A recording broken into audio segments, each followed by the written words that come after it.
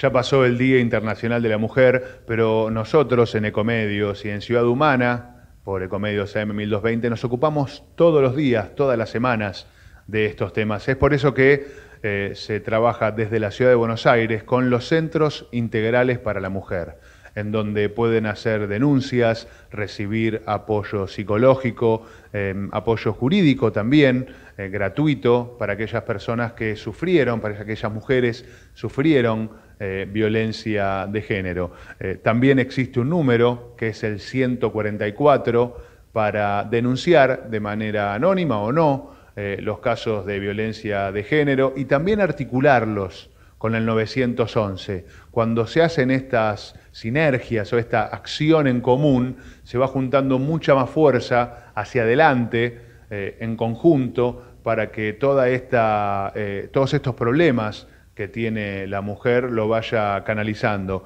Em, cuando uno ingresa a la policía, cuando un aspirante ingresa a la policía y durante la formación, también se le dan talleres de sensibilización, eh, de trata de personas, de violencia contra la mujer, de violencia de género, y todo tiene que tender al equilibrio. No es lavar los platos o cambiar los pañales o barrer el piso una cuestión de género y femenina, es todo de todos.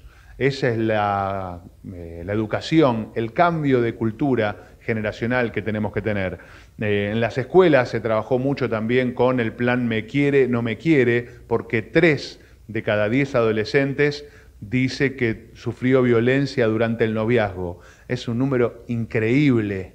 Tres de cada diez sufrieron violencia. Y en este taller que se lleva por los colegios, me quiere, no me quiere, tratan de ver con un test online también si realmente están sufriendo, eh, sufriendo violencia durante el noviazgo. Eh, también existe la ley Brisa, que tiene que ver con esa chiquita que quedó en manos del abuelo después de que su madre sufrió un femicidio, el abuelo no tenía los recursos necesarios para mantenerla, entonces el Estado es el que tiene que ponerse del lado de la víctima para darle un subsidio, para darle plata a esos menores de edad que sufrieron eh, por estos femicidios. Eh, tobilleras seguras, lactancias, centros de primera infancia. Hay 77 centros en la ciudad de Buenos Aires donde te podés acercar si sufrís violencia de género. Hay un montón de actividades que hace la ciudad de Buenos Aires y principalmente desde la educación decir basta, somos todos iguales,